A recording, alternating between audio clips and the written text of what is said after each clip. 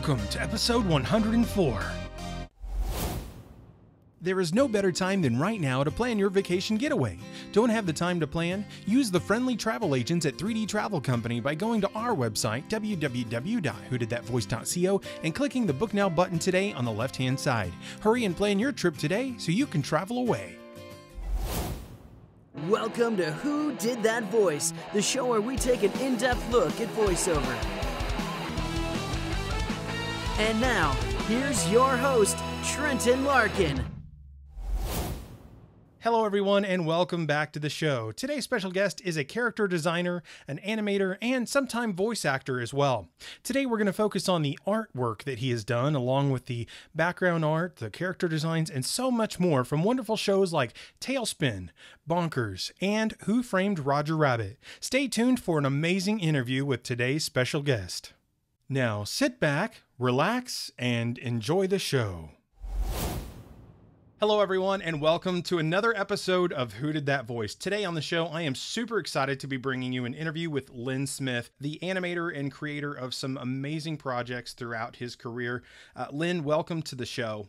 Hi, Trenton. Thanks for having me. Hey, you are more than welcome, sir. Well, I'm glad I was able to grab you for a little bit of time here on this Saturday afternoon. And, uh, you know, the very first thing we like to do, Len, when we have a guest on the show is to get to know them. So tell me about little Len Smith, the young boy that grew into the man he became, and how did he get into animation? Actually, uh, you know, my first memory, I, I don't think I was even a year old, was watching my dad paint the Looney Tune characters on my nursery wall. Oh, wow. So yeah, my dad uh, had a scholarship to Chouinard's, wow. which was the art, the art school. Yeah. Um, back in the '60s, '50s, '60s. Um, it was the Cal Arts before Cal Arts, and uh, so he had a, a, scholarship there. He he didn't uh, use the scholarship. He became a carpenter. Oh wow! But uh, I used to sit at the table and watch him draw, and that was my first exposure to to drawing and the characters and stuff. So wow, yeah, that is fantastic. Such a young memory and uh, such an inspiration to you. Yeah, such a young age. That's fantastic to hear that it's kind of a legacy you carried on through your father. That's wonderful. Well, it started from the beginning. I was drawn drawn to it from the from the beginning. Pun intended. Yeah. yeah. I love it. That's funny. Drawn to it. Well, uh, Len, it's uh, we're off to a great start. You know, uh, it's wonderful to hear that you know your father was such an inspiration to you in that uh, regards. Were there other things as you were growing up, uh, cartoons or certain maybe characters that really spoke to you as a kid that kind of were like, wow, man, you know, animation is really something that I'm I'm drawn to. yeah. I uh well I grew up on you know when Saturday morning cartoons were huge. Yeah. You know, it's uh Yogi Bear, Huckleberry Hound, oh, yeah. um, all mostly the Hanna Barbera stuff, which was on TV, and uh, you know Beany and Cecil and uh, all these classics. Oh yeah. So for me, I grew up at the best time to to see all these great cartoons. Um, when the Flintstones was on, my grandpa actually worked in a quarry, in a oh. rock quarry.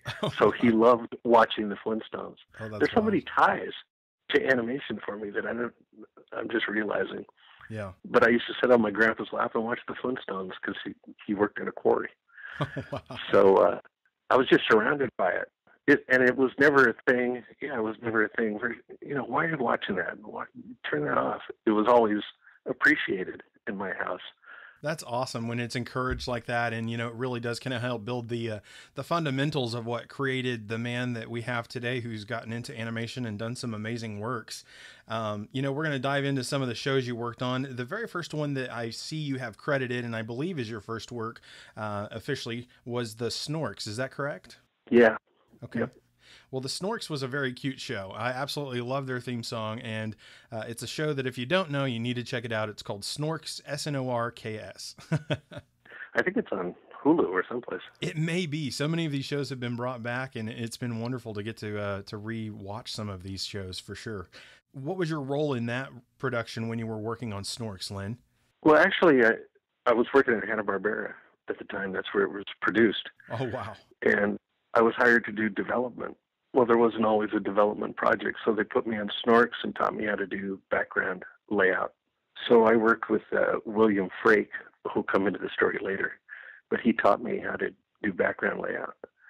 But my very first job, I was doing development art, character design, background layout, and I I didn't have any prior experience, so I was learning it all on the job. Oh wow! Yeah, it's again everything just fell into place. I don't know if you want to hear the story about how I got hired there, but please, yeah, please tell us, Len. Yeah, like I say, I didn't have any uh, previous experience. I didn't go to art school or anything. I just walked. I made a phone call, made an appointment, and uh, they agreed to see me for an interview. That's awesome. But I I walked in with all the stuff I had drawn in high school when I wasn't paying attention in school. That's awesome. I got uh, Harry Love, who was a director on the original Tom and Jerry oh, cartoons, wow. the yeah. 1940s. At this time, he was maybe in his late 60s. Okay. He flip, he flips through my portfolio and uh, he looks at me after a couple of minutes and he says, "You drew these?" I said, "Yeah." He said, "Wait here." and he left. For, he said he left the office, and about ten minutes later, he came back and he said, "Can you start today?" Wow. yes, I could. Yes, I could definitely start today. Wow. And I've been working for over thirty years since. Len, that's that's amazing, man. I mean, especially with no uh, you know formal schooling in that regards, uh, to just come in and then you know him to be that impressed with your works. Um, you know, sometimes the way we get our education is is differently. You know, when you're focusing on your artwork at school, uh, you know, instead of focusing on whatever the teachers were talking about, you know, you were creating this, uh, you know, resume in essence of your of your work uh, to present, which is just fa- fascinating to me because you know so many times teachers will tell you, you know, focus on your work, do what we're asking, uh, you know, and in, and in your case, and, and I know a lot of other people's cases, whether it's you know doing funny voices and cracking jokes for voiceover or drawing art in their class, you know, sometimes the things we do on the side uh, really do end up being the inspirations and creations of our career paths down the line, and we just don't always know it. You know. That's true. Yeah, I, I, had an I had an English teacher that I drew a caricature of, and he passed he passed me in his class for three three classes. and just before just before graduation, he comes to me and he says, "Don't ever tell anybody you majored in English, just just because you passed all my classes." That's funny. wow. Well, Len, that is so awesome. You know, to, to get to hear your beginnings, um, you know, it's a, it's an inspiration to me, and I'm sure it will be to a lot of other people because, uh, you know, sometimes the world is very cookie cutter, and they want us to do this specific set of things, uh, and you show that you don't always have to do that to get where you're going in, in, in your life and in your future. So uh, I think that that gives me a lot of hope, gives me a lot of uh, inspiration and, and, a big smile on my face. And I think it will a lot of other people too. So, but uh, everybody else pay attention in school. Yes, everybody pay attention in school. but everybody's different, you know. Everybody learns a little bit differently. I, I, struggled with dyslexia, so I understand. You know, sometimes the way we learn is just different from other people too. You know, so um, yeah, super yeah. fascinating. Well, you know, some other great shows that you got to work on. Uh, one of them was an animated show called Pound Puppies. It's not as well known, but it was something I recall from my childhood. Uh, you know, great show, good fun, uh, very cute animation. Um, but one of the next big projects you got to work on that is very well known and people love to this day. In fact, it's one of my absolute favorites called Who Framed Roger Rabbit from 1988. Uh, what was it like getting to work on that amazing film? Well, here's where, where William Frake comes back into the story. uh, the guy who taught me background layout yeah. was hired to head up background layout for the Toontown sequence on Roger Rabbit. And um, he called me one day and he said, "Do you want to be my assistant on this?" I, I, at that time, I didn't even know what it was. Yeah. You know, but I knew it was Disney Features, and uh, yeah, I'll assist you. So uh, he brought me on, and again, I had only been in the business for maybe a year. Oh wow! And still didn't have you know a lot of experience. Wow. So he brought me in, and then like a week later, his wife went into labor, oh, and goodness. he disappeared.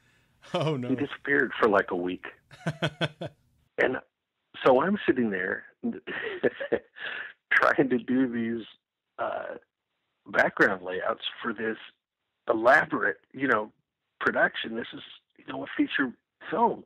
Yeah. So I'm I'm just trying to hold on by my fingernails. I'm drawing and you know. Uh, Dale Baer, who was in charge of that production unit, because a lot of the uh, live action and animated sequences were done in London Okay. with Richard Williams. Oh wow. So we just did the Toontown sequence. Uh, Dale Baer, who was in charge of that sequence, would be over my shoulder helping me out, you know, Yeah. laying out the uh, the angles and things. But um, all the buildings with faces and all the personality, that was my idea. That Really? It was just going to be pretty, you know, pretty standard. Yeah. But I started saying, you know, the building should have personality. This is Toontown. Everything should be alive. and uh, and they liked that. And in fact, the main shot where they have the uh, the buildings, there's a bar and there's a police station and everything. Yeah. That was just supposed to be a static shot, but they liked it so much they animated the buildings. That's awesome. So yeah, Well, that's pretty epic. So that was you, man. You were the uh, the inspiration behind my uh, a huge part of my childhood because I mean I thought everything being animated in Toontown was extremely brilliant. I mean that was genius, really, because uh, you know instead of having those static shots where the buildings were just still, uh, having everything come to life was just amazing. I don't think there was anything in that scene that wasn't alive. yeah, you know so Yeah. wow that is awesome well you know another show you got to work on absolute favorite of uh, absolute favorite of mine is uh, tailspin which came out in the 90s uh, you know just a couple of years later um, so your trend wor- with working with disney has definitely continued through your career at this point um, getting to work on tailspin had to be an absolute blast because it was such a fun and wild show it was. Um, and to be asked to do character designs for that, you know, this is now maybe two and a half years into my career. yeah So I'm still, I'm still green. still kind of awestruck now- still kind of wow Yeah, I think most of my life has been like that, that's awesome just hanging on. hanging on by the seat of your uh, seaplane. Yeah, yeah. what characters did you primarily work on, or did you kind of have a handle in on all of the characters? I designed Kit, Okay. Don Karnage, Oh, Molly, oh, and Molly. Wildcat. Yeah, Wildcat. Yeah, yeah. Yeah. Oh wow. So Jim Cummings and because he was Don Karnage, and then Yeah. um, Wildcat, of course, is Pat Fraley, uh, and the young girl and Kit. They both escaped me. Molly. Uh, those two actors uh, escaped my memory, but yeah, great characters, and that's really good to know that you specifically worked on those. Don Karnage was just a hoot. Uh, absolutely Yeah. loved him, and Wildcat was such a fun guy, um, and Kit was just a, a punky little fun sparky little guy you know? He was just very uh, cool. I loved his little flyer disc that he would fly on behind the the seaplane and everything with blue Right. but oh man. And molly she was a cute little girl. Great great Yeah. characters. Well the next thing we're going to talk about today len is a show that has really been a huge inspiration behind the creation of my show uh, called adventures in odyssey and you actually got to work on the animated series on a multitude of, of them if not all of their uh, projects.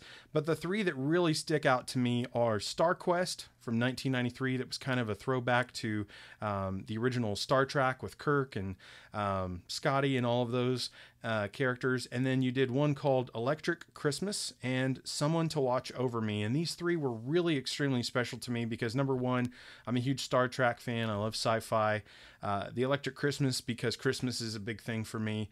And then someone to watch over me was always a favorite of mine because it was a throwback to the adventures in odyssey that was done uh, where jimmy barkley was the character in the uh, radio drama version where he needed an, uh, a guardian angel to watch over him I believe it was Jimmy Barkley, um, but it was a character in Odyssey on the radio drama that they then translated into an animated feature. So it just has a lot of uh, of a special place in my heart where the young boy is injured.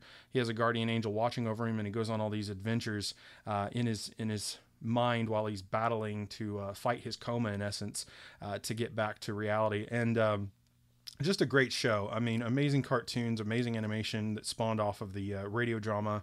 And what was it like getting to work on that amazing project and series, Len? It was a lot of fun. Um, again, it was uh, it was a smaller production. It was basically two guys, Really? Uh, wow. Mike Mike Joens and Ken Johnson, and they produced all those animated uh, videos. Um, right down to storyboarding them and directing and and everything else. So it was nice just to work with two guys and and be able to just create, you know, uh, these characters and very simple production, and uh, it was a lot of fun to work on. Well, even though it was a small group of people and a simple production to work on, the animation was really great. I mean, it was amazing, uh, especially in the early 90s. Uh, you know, a lot of times we see these productions that are done from Christian companies and stuff, and they aren't necessarily up to a standard of regular animation for shows like Disney and such. But I mean, I would say that the animation and the, the characters that we saw in Adventures in Odyssey were Disney quality and beyond because it's just an amazing show the way it was created and done and voiced. So I'm glad you were a part of that amazing series. Yeah, me too. It's uh, I'm proud of it. you should be. It's an amazing show. A set of films. You know, uh, I mean, it was anywhere from I think ten to twelve, maybe thirteen. Uh, that had been produced, and uh, you know, I wished it had continued on. It was a great show, great series, um, and the radio drama just hit 30 years uh, in 2017. So it's amazing to see how how much uh, exposure this show has had on the the world, on the community of people out there today, you know, because there aren't a lot of radio dramas anymore. And I think that was a huge inspiration behind what I do today, you know, so great. Well, I'm so glad you got to work on Adventures in Odyssey, Len. It's definitely a show that inspired me and uh, is a huge reason why I do what I do today. A couple other shows I wanted to talk with you about. Again, we're going back to some Disney productions you got to work on. Amazing shows like The Little Mermaid animated TV show uh, from 92 to 93 is when that aired. Uh, Bonkers, which was a fun, fun show. A lot of people don't know about as much, uh, but it's one I highly recommend. Jim Cummings was the main character, Bonkers. And you've worked on the movie and TV show called Winnie the Pooh and Christmas Too back in 91 and The New Adventures of Winnie the Pooh from 88 to 1990. And all of those shows were really special to me in one way or another. My sister was a huge Little Mermaid fan, so I watched it a lot because she watched it. Uh, Bonkers was just extremely funny, quirky, and had a lot of that Toontown feel that we got in Who Framed Roger Rabbit. And uh, was some of the characterizations in that uh, kind of reminiscent, would you say, of Who Framed Roger Rabbit? Well, they wanted to um, they wanted to explore that idea of yeah. the real cartoon characters living in the or the cartoon characters living in a real world. Um, except that it was all animated, so which confused me from the start. I could see that. I could see that because yeah, it, it, does kind of feel like they tried to have cartoons in a in a real world, but the other characters were animated. They weren't live action characters. Which I think if they had done Bonkers, or if they ever reboot it, they should do it where all the you know main characters that were supposed to be humans or real people, and then have the other characters all be animated. I think that would be a cool, fun uh, rendition to make Bonkers in the future if they ever do that. Well, I think now they could use actual live action. You yeah. Know, uh, you know the technology is different then. It was way too expensive to do as a you know as a weekly series. Yeah, yeah. Back then, but that was that was the premise of the show. That's and, uh, awesome. Uh, they tried to pitch that maybe five times to Jeffrey Katzenberg, and um, they finally they brought me on it, and I did a, a more crazy 1930s take, and I I created Bonkers. Oh no um, way! the pitch that I worked on is the one that sold to Katzenberg. Wow. So, yeah. That's awesome. Well, Bonkers is one of my absolute favorites. He's so zany and crazy and funny. And uh, it's a cartoon I recommend to people out there who don't know it, whether you're just uh, wasn't your generation or it's just one you never caught. Please check out Bonkers. It's super funny. Uh, and Len, it's awesome to know that you were um, the one that actually helped get that show off the ground and got it um, inspired you know inspired other people to say hey yeah let's do this you know because that's it's a fun fun fun show. Um, and you know as far as winnie the pooh goes i mean who doesn't love pooh bear? You know yeah, um, yeah. getting to work on that show what were the characters that you really got to work on on that? And what was it like working on the christmas production uh, and the uh, the actual series itself? Well for pooh actually that was the first uh, production i worked on at disney tv animation. Awesome and all the characters were already estab- established. Yeah. Obviously, from the you know the '60s features and stuff. So my job on that was basically design costume changes and and that kind of thing. Anytime you know Monster Frank and Pooh, um, you know, were uh, they're all in kind of uh, gothic garb and Yeah. and that that was that was my job. So that had to be fun to take something that was already a beloved thing and uh, get to you know recostume them and repurpose some Oh, yeah. of that to uh, to bring people's childhoods to fruition because you know I know growing up with those as a kid I think the New Adventures of Winnie the Pooh uh, aside from the originals was like probably my absolute favorite because it was when I was a kid growing up um, but Pooh Bear has always been super special to me but the theme song from that series from the New Adventures of Winnie the Pooh is amazing um, it was just a, a well put together show, and uh, they took an entity that was already beloved and just made it even more so. I think oh, it was awesome to play in that world, play play in the Hundred Acre Woods. it had to be. Yeah. Uh, and you know, working with that group of people uh, at Disney, are just they, they just do such such wonderful works. Uh, you know, they really um inspire people in so many ways. It's it's amazing. Um, you know, Len, do you have a way that people can reach out to you, a website or social media? How could people reach out to you, whether they have questions about the animations you've worked on, or maybe even want to partner with you on a project in the future? You can reach me through my Facebook page. Actually, um, that's pretty much the best way to to find me. My my art is up there. Yeah. Awesome. Well, Len, um, so and people would just find you with Len Smith, just L E N and then S M I T H, right? Yes. Awesome. Okay. And uh, Len, what kind of advice would you have to somebody? Maybe they're looking at getting into this world of animation. Uh, maybe they've always uh, been the kind of person that loves to draw in, in class and not pay attention, or maybe they just love it, uh, you know, so much that they do it all the time. What is some advice for those young people that might be looking at getting into this world of animation and uh, kind of breaking into it?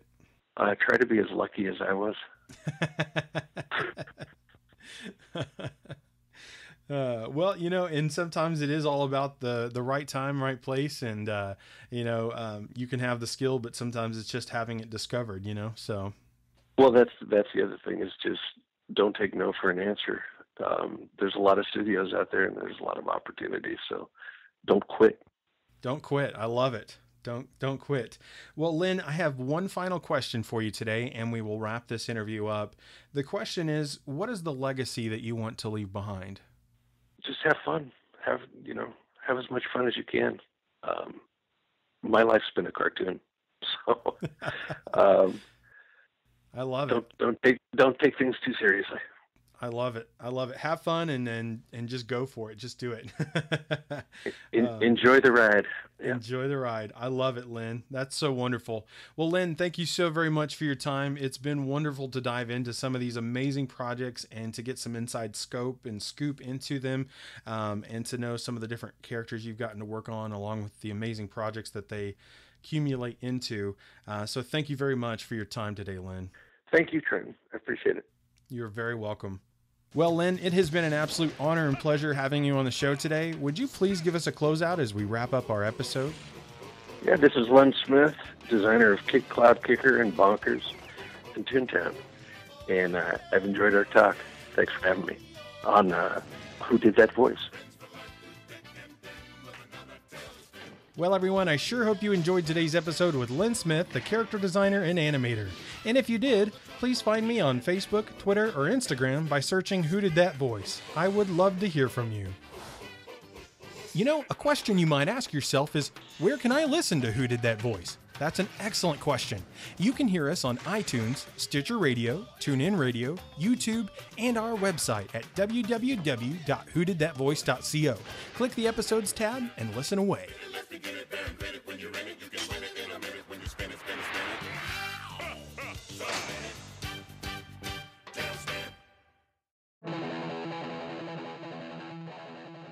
Well, everyone, that's all the time we have for this episode. Join us next time for our special guest, Jerry Plunkett, the voice of Scarab from Mummies Alive. You won't want to miss this episode. Hey, do you ask yourself who did that voice?